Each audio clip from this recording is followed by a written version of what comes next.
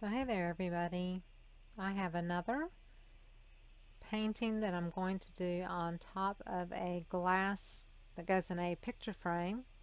So I did the acrylic swipe on a 4x6 or 5x7 picture glass out of a frame and it's dried for multiple days. I've cleaned it off with dish Dawn degreasing liquid, dish liquid and let it dry really well.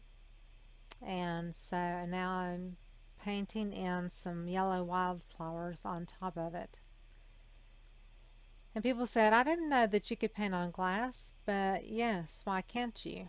Um, it's going to be sealed and it's going to be put back in the frame and it's going to sit on a tabletop or be hung on a wall so there's not really much chance of any scratching to take place and like I said you are going to seal it which will give it that glossy finish again and then um, you should be good to go to be able to swipe it down for dusting and anything like that.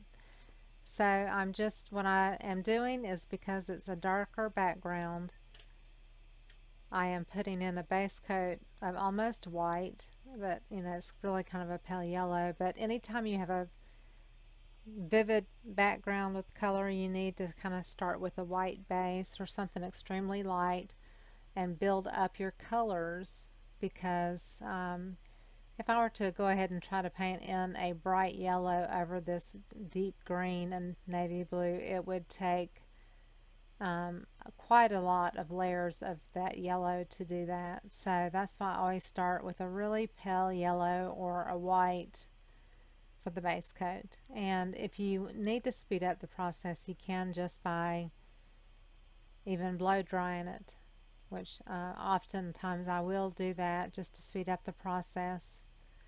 And then once it's dry, I uh, blow dry it again and make sure it's nice and dry, and then I'm going to seal it as soon as I finish it.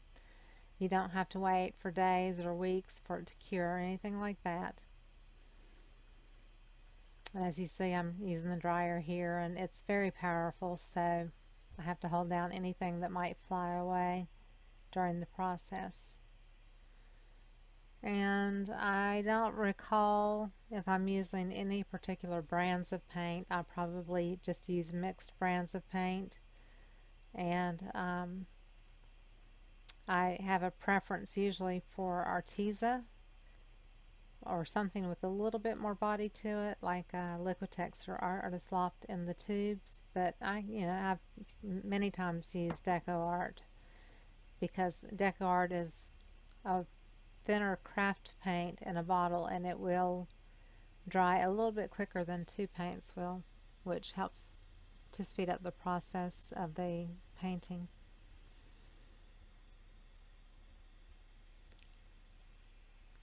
So I'm just going to uh, get busy painting here and let you watch and I'm going to speed through the process a little bit.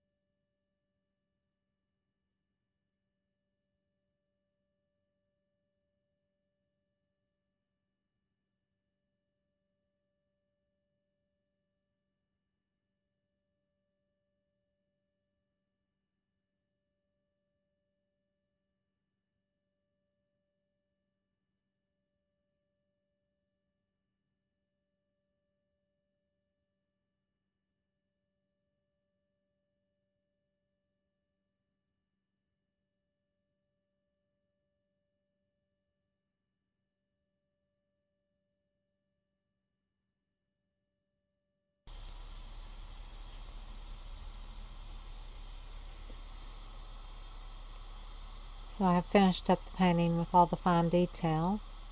And since it is painted on glass uh, it will be pretty protected in that frame either sitting on a table or hanging.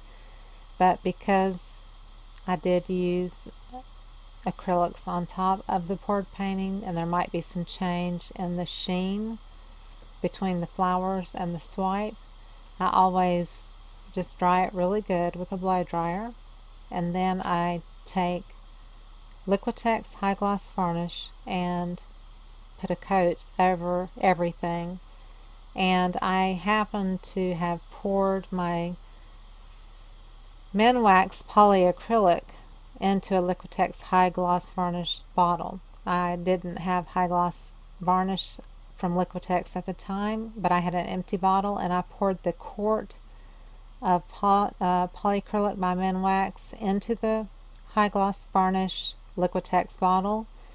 So I don't want it to fool you there, but I did write Minwax on the bottle, so it is Minwax polyacrylic, which is similar to Liquitex high gloss varnish. The, the Liquitex is a little bit more watery and my preference, my number one choice, but I use Minwax polyacrylic as a very close second.